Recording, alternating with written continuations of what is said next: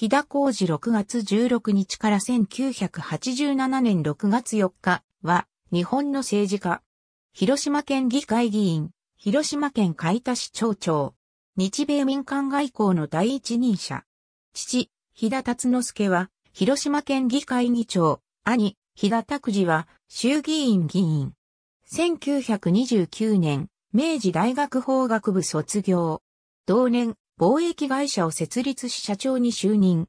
1931年から衆議院議長秘書を務め、1933年に広島県議会議員として初当選後、1935年と1939年に連続当選。辰之助及び拓司らと共に、不死兄弟連携して政治活動を行い、広島県政で望月派と飛騨派の二大派閥として台頭していた。1941年、海田市長長に就任したことにより、現職の広島県議会議員と海田市長長をしばらく兼任していたが、1946年の GHQ による公職追放を受け政治家を引退した。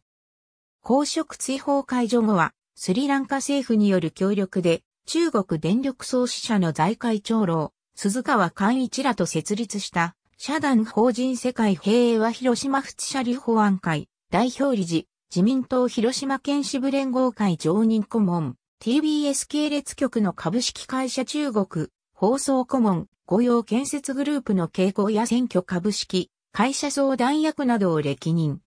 全日空社長の岡崎か平太らと協力しながら推し進めた民間外交など、戦後復興から協理発展に尽力して、政財界で名を馳せ、母校の明治大学交友会では名誉顧問を務めた。ありがとうございます。